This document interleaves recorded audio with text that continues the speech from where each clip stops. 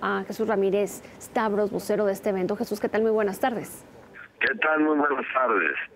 Bien, ¿quiénes participan eh, en este evento a realizarse en marzo y qué, qué tipo de acuerdos comerciales se pueden lograr ahí? Eh, Lucero, gracias. Eh, Aeroexpo es un actor que lleva 20 años en el ámbito aeronáutico y organiza eh, año con año una exposición eh, que, donde se muestra lo más avanzado de la industria aeronáutica, eh, sobre todo orientado al tema de aviación privada, pero también al tema de industria y maquila, maquila y fabricación de partes, el tema tecnológico, en donde van a asistir las marcas y las fábricas más importantes del mundo en el tema de tecnología aeronáutica y estará dos, tres y cuatro en Acapulco, como lo ha estado eh, anteriormente en Toluca y en otros del propio Distrito Federal eh, desde hace 20 años. Jesús, ¿cómo ven el ritmo de inversión de ese sector aquí en México en este momento de incertidumbre por el crecimiento de la economía eh, del país? Bueno, la, la, la, la aeronáutica y la aviación durante, aunque quiero decir que no es muy tomada en cuenta el Estado mexicano, no el gobierno, sino el Estado todo. Eh, desde hace mucho tiempo tenemos una política poco eh, enfática en el tema aeronáutico, pero a pesar de eso, quiero recordar al, auditorio que la aviación hoy está dando las inversiones más importantes de este país, entre ellas el aeropuerto, el nuevo aeropuerto de la Ciudad de México, y desde luego la perspectiva de crecimiento en términos de pasaje eh, aéreo, las inversiones de las aerolíneas, los propios sistemas aeroportuarios, los convenios internacionales importantísimos en el ámbito de la aviación y desde luego los esfuerzos enormes que hace eh, la aviación privada eh, en, cuanto a crecimiento, inversiones tanto en instalaciones como en equipo, en aviones, en capacitación.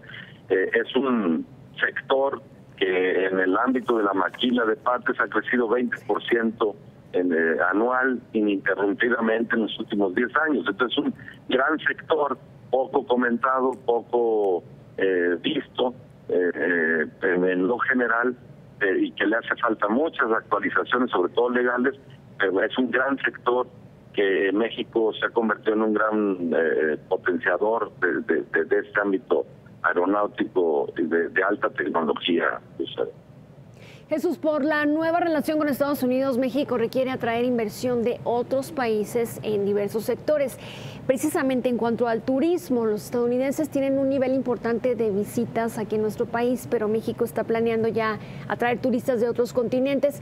¿Cuál consideras que es la situación de conectividad aquí en, en México? En este evento vemos que participarán muchas aerolíneas. Sí, y además además decirte que, efectivamente como hemos tenido muchos años de crecimiento bajo en este en este ámbito por supuesto México es uno de los países con mayor potencial de crecimiento en el ámbito aeronáutico. Sin duda la, la perspectiva de inversiones eh, sobre todo europeas en, en, este tema son muy importantes. Eh, hay 45 mil empleos ahora eh, ya en el ámbito, digamos, de, maquilación y fabricación de partes aeronáuticas, pero hay muchos otros miles en todo el respaldo que tiene la infraestructura de la aviación nacional. Eh, los empresarios, los eh, inversionistas en este tema requieren, sin duda, un mayor seguimiento, un mayor acompañamiento del Estado mexicano, porque el potencial es enorme.